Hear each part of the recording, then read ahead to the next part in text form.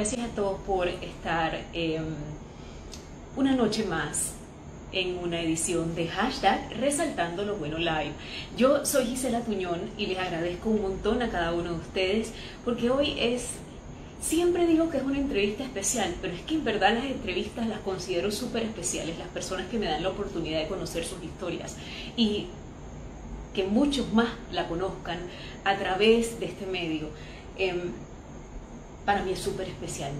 Y en el programa de hoy tengo la oportunidad de conversar con un muchacho a quien considero inmensamente valiente. Eh, Yardel Rivera es el hijo de Estrella, mejor conocida como Estrellita Arosemena, eh, quien esta semana exactamente cumple un mes de haber sido asesinada por su pareja en un caso de femicidio que se registró en el área oeste del país. Esta entrevista, lejos de buscar el morbo y de saber qué pasó y, cómo pasó, esta entrevista busca hacer un llamado. Esta entrevista busca ser desde el más profundo respeto eh, un conducto para que muchas más personas eh, tal vez puedan darse cuenta si están viviendo una situación como esa y lo real que puede llegar a ser. Por eso ellos incluso han em, conformado un movimiento, van a tener una marcha, eh, ni una más, ni una más. Hola. Hola, ¿cómo estás? Bueno, yo súper contenta de verte, súper emocionada de poder compartir contigo esta noche. Eh, como te lo dije fuera de cámara, te considero un hombre muy valiente. Eh, no solamente por cómo has afrontado la situación que vives, sino porque no sé de dónde estás sacando la fuerza para además de vivirlo, y sobrevivirlo, querer ayudar a otras personas a través de tu experiencia. Eh, no puedo preguntarte cómo estás, creo que la respuesta es obvia, pero sí te pediría que por favor me comentes un poco cómo vive un hijo la experiencia de impotencia ante una situación como esta, las autoridades que a veces pareciera que no aportaron. Bienvenido a Resaltando lo Bueno. Hola, buenas noches. Bueno, vivir el femicidio de alguien cercano de por sí es una mala experiencia, es una experiencia que no le deseo a nadie. Lamentablemente, desde mi caso me tocó vivirla de alguien no que era más cercano, sino una persona que era y simbolizaba mi vida, mi universo y todo para mí, que es mi madre. Este, vivir día a día ha sido difícil. La, la verdad, no te puedo ni explicar el dolor que siento todas las noches al saber que mi mamá ya no me dice buenas noches, ni todas las mañanas al, al no ver a mi mamá al desayuno, la verdad. Eh, he recibido mucho el apoyo de muchas personas, pero principalmente el de mi familia y es algo que me ha llenado un pequeño, una pequeña porción del vacío que dejó mi mamá. Creo que cualquiera que conoce, me conoció a mí o a mi mamá este, sabe que nuestra relación era sumamente inmensa, a un nivel que sentíamos que ambos teníamos una especie de telepatía entre nosotros dos, que podíamos comunicarnos sin siquiera hablar, solamente con mirarnos.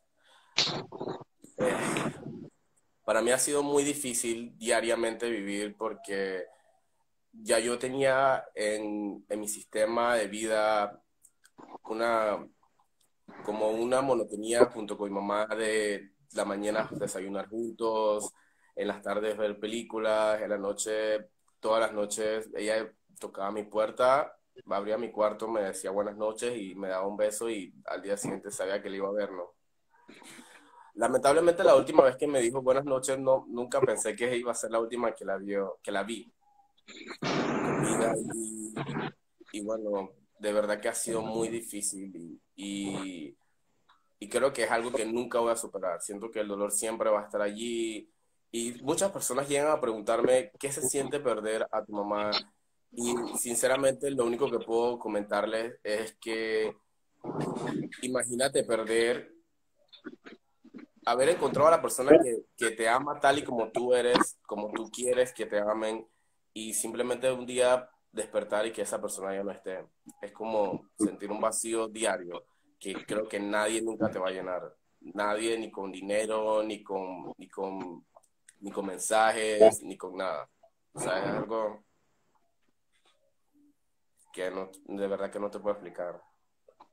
Seguramente no se han inventado las palabras para un dolor tan grande. Sin embargo, tú has decidido darle la vuelta junto a tu familia, porque entiendo que también tienes el apoyo, como lo has dicho, de tu familia, de tus tías, em, y han decidido darle la vuelta a esto para ayudar a otras personas. Eh, de hecho, entiendo que tienes, me comentaste que tienen una marcha este fin de semana. Em, ¿Qué es lo que planean hacer después de esta experiencia tan difícil? Después de esta experiencia tan difícil, lamentablemente que nos tomó de sorpresa, porque creo que nadie nunca se espera esto, que es lo peor. Este, nos tocó llenarnos a todos de valentía, eh, tomarnos fuerza en las manos y seguir adelante, no solamente por nosotros mismos, no solamente por nuestra familia, sino simplemente por mantener la, memoria de mi mamá en vida y que, y que lo que haya pasado no haya pasado en vano. Eh, la hemos unido no solamente mi familia, sino muchas otras familias que han pasado por esta situación para crear una, una especie de movimiento en el cual podemos dar conciencia a, otras personas que se encuentran dentro de esta situación y ayudarlas a seguir adelante. Ayudarlas a seguir adelante, ayudarlas a salir y sobre todo dar conciencia y alzar nuestras voces porque de verdad que lo que se busca más que todo con este movimiento de parte de mi familia es que nada de esto haya pasado en vano y que la persona que realmente hizo esto pague lo que tenga que pagar y se haga justicia. Lamentablemente no hay nada que me devuelva a mi mamá, pero, pero de verdad que sí, lo principal en este movimiento es que se haga justicia y no solo por mi mamá, sino por todos los múltiples casos que se han visto de femicidio alrededor de todo el mundo. Y sé de por sí de que principal esta, principalmente esta lucha es de mujeres, pero me tocó vivir esta experiencia y de verdad que no quiero que nadie pase por esta experiencia más nunca. De verdad que no. Eh, ¿Cómo fue aquello eh, de encontrarte con otras familias, con otros hijos, con otras madres eh, que han perdido a una mujer a manos de su pareja? ¿cómo, ¿Cómo lograron encontrarse? Bueno, nuestra conexión fue a base del, movimiento que estábamos creando, también gracias a nuestra abogada Suki Yard, que en verdad agradezco mucho su apoyo. Ha sido un apoyo inmenso con nuestra familia. Ella se ha tomado la tarea de, no solamente apoyar este movimiento, sino conectar a todas las familias y poder seguir adelante y realmente el objetivo que es obtener justicia cada uno por, por caso particular. Este, encontrar a otras personas, no te voy a decir que fue gratificante porque de verdad que no me gustaría encontrar a personas en esta situación. La verdad me encantaría, incluso me encantaría ser el único en esta situación porque es algo que no, no me gustaría que nadie pasara.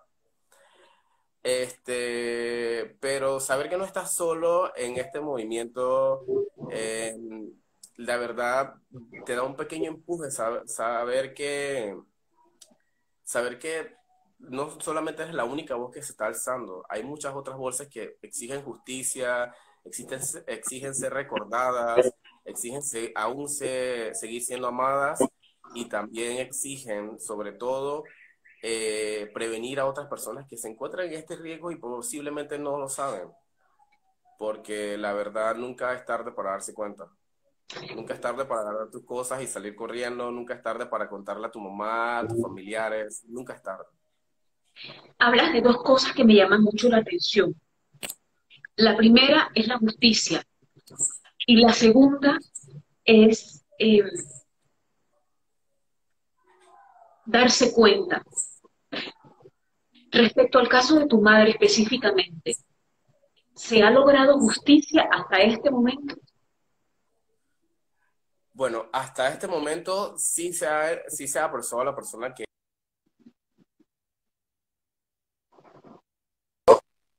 este, sí se ha logrado este, los primeros pasos. Lamentablemente, eh, el sistema panameño con este tipo de casos en particular, aunque ya se está tomando, eh, aunque se está tomando represa, tiende a ser un poco lento. Eh, nosotros realmente ahorita nos encontramos en el primer, en el primer juicio y queremos de verdad que la persona no quede libre, que se haga, se haga justicia por lo que hizo, que no se busque a tercero, que no se culpe a más nadie que no sea la persona que realmente lo hizo. Porque al fin y al cuenta todos debemos hacernos cargo por nuestras acciones y atender contra la vida de una persona y en este caso personas que son seres queridos por su familia es lo, más horrible en este mundo. Ahora, hay personas que señalan eh, que lamentablemente el Estado le ha fallado a muchas, a muchas. Eh, mi pregunta es, ¿en este, en este momento la persona eh, que le quitó la vida a tu madre se hizo responsable o está alegando un tipo de defensa? Hasta el momento, este, me encantaría compartir esa información contigo, pero por cuestiones legales aún no podemos. Pero sí te puedo decir que la persona hasta el momento sí ha sido apresada y está siendo procesada obstante, este, no se está dando con todo el peso de la ley como quisiéramos mi familia y yo. En cierto punto sentimos que incluso se le ha dado un tipo de, de apertura para alegar y para defenderse con, todo y que hay demasiadas pruebas en su contra. Siento que el sistema panameño es bastante lento con este tipo de cosas, demasiado. Ahora, cuando te refieres a darse cuenta, a ayudar, eh, lo he escuchado de profesionales de la salud mental.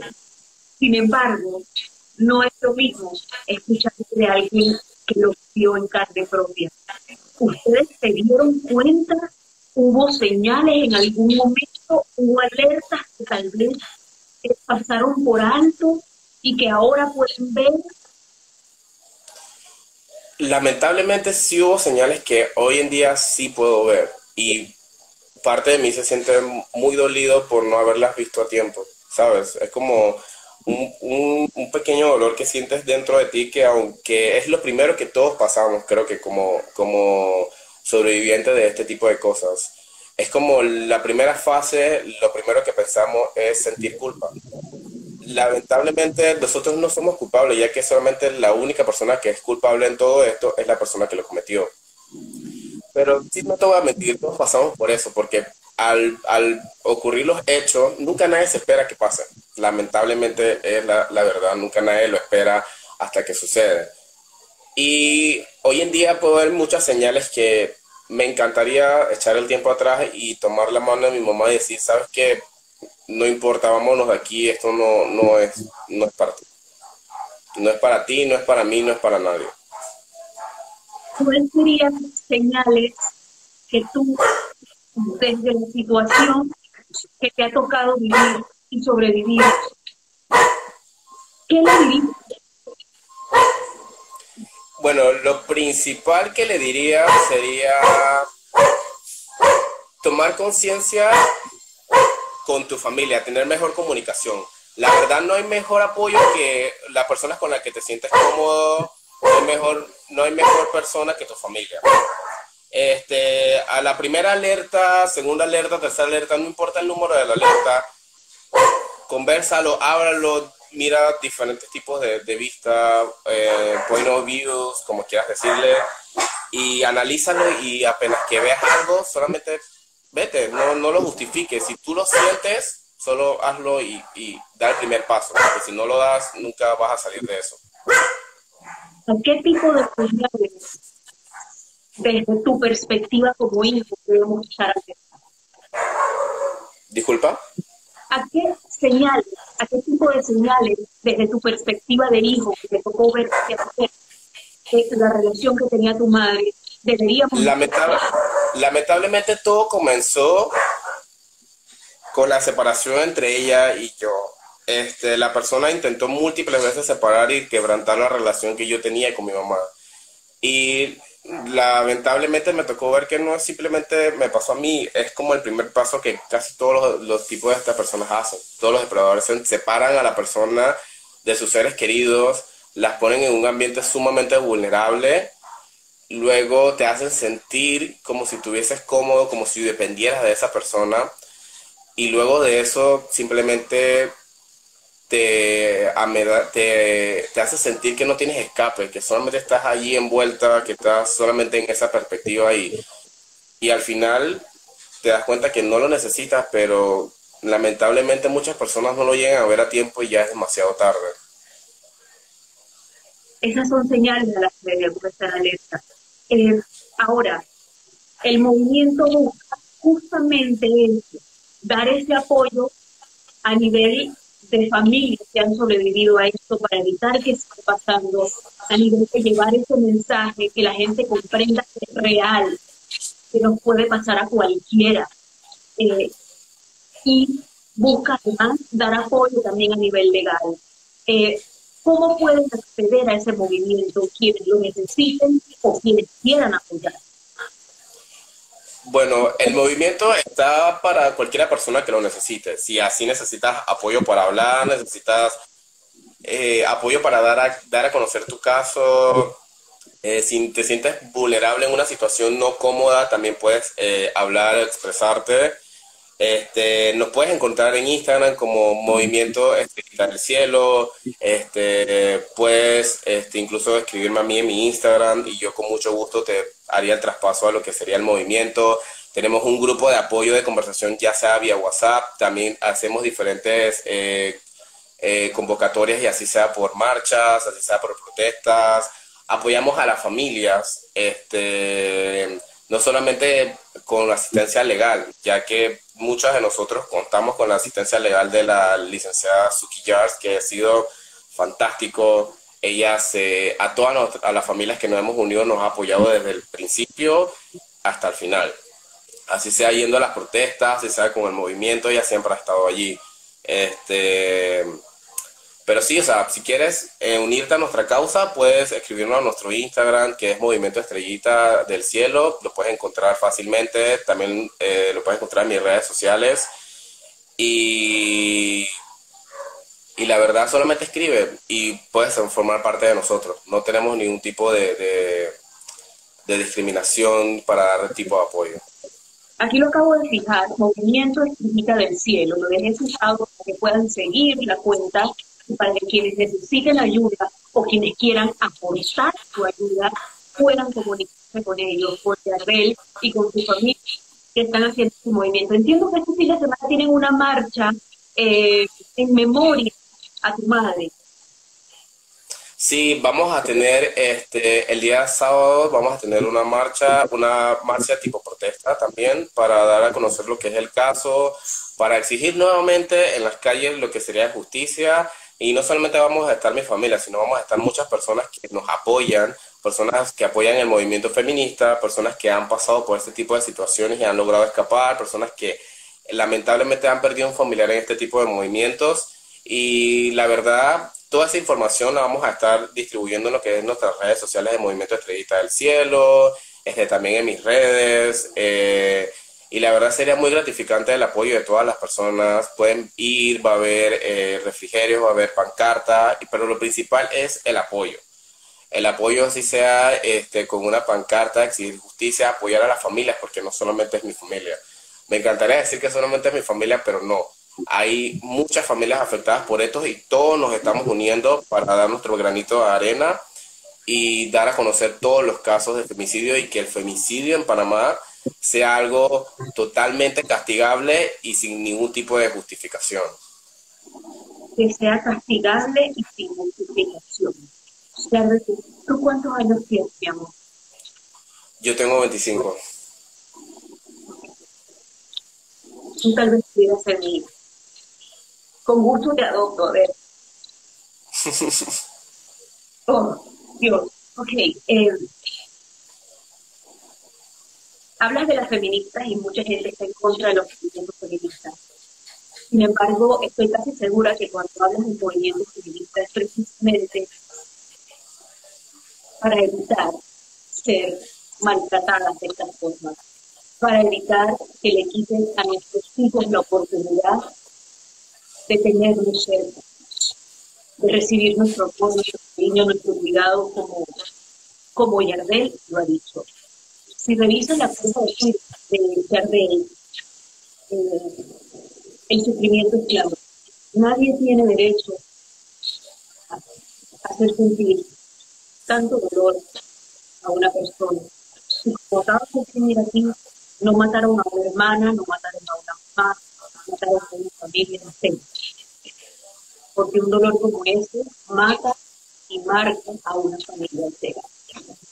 Yo, desde, desde mi posición en la que tal vez no puedo hacer mucho, eh, espero, espero poder ser de apoyo y ser de ayuda en todo lo que ustedes puedan eh, o necesiten eh, a través de mis redes sociales y de los medios de comunicación en lo que estoy. por favor, déjenme saber respecto a, este tema de la marcha.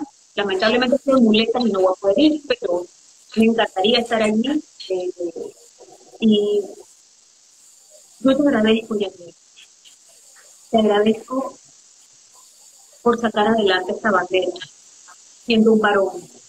Porque ciertamente, como alguien también comentó hace un ratito, somos las madres las que tenemos que criar mejores valores también. Hacer un trabajo distinto de casa. Ya veo que tu madre hizo un excelente trabajo y creo que tú eres tu mejor legado en la tierra. Gracias, Yardel, por tu valentía. Gracias por darle a tu mamá y a las familias que lo necesitan tu valentía. La verdad, este, gracias a ti por darnos, por, bueno, no solamente me diste la oportunidad de contar la historia de mi mamá, simplemente le diste la oportunidad a ella de alzar su voz, incluso aunque no esté físicamente con nosotros. Este, para mí es muy importante la oportunidad que me diste la oportunidad que le brindaste a mi familia y la oportunidad que le has brindado no solamente a mi familia, sino a las familias que se nos unieron a este movimiento. Este, la verdad estoy muy agradecido, creo que jamás te voy a poder agradecer suficiente por esto. Mi amor, yo puedo ser yo mañana. Podemos ser cualquiera de nosotras mañana. Y ninguna mamá te abandonará. Eh, para los que no saben, Estrellita tenía solamente 47 años, era una mujer muy, muy joven. Y como alguien dijo, eh, ella no se merecía eso, qué linda. Eh, bueno, ni la linda, ni la fea, ni la joven, ni la vieja, nadie. Nadie se merece.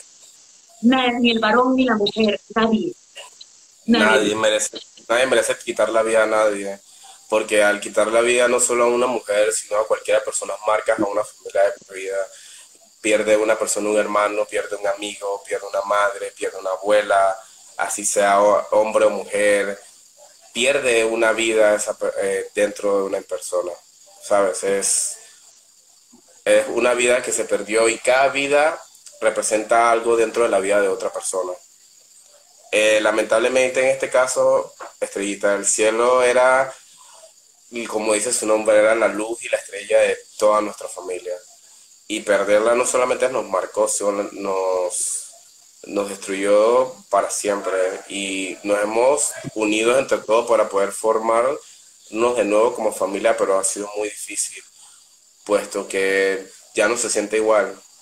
De verdad que no. La alegría que mi mamá aportaba a nuestra familia era inmensa. Y creo que nadie nunca va a poder reemplazar eso. Nunca, de verdad que no. Gracias, Yardel. Eh, no me canso de darte las gracias por tu valentía y por querer, a, través de tu dolor, ayudar también a otros. Eso es de gente grande. Gracias a ti. Gracias a todos por habernos permitido estar con ustedes. Les recuerdo que este video luego va a mi canal de YouTube para quienes no la pudieron ver o no la pudieron ver completa, pueden volverla a ver. Esto queda en el canal de YouTube. He conversado esta noche con Yardel y Arosemena, el hijo de Cícero Mena, que hoy día es una estrellita de cielo. Ni una más. Y les estaré informando en redes sobre la marcha del fin de semana. Gracias, Gabriel. Gracias, Patma. Gracias.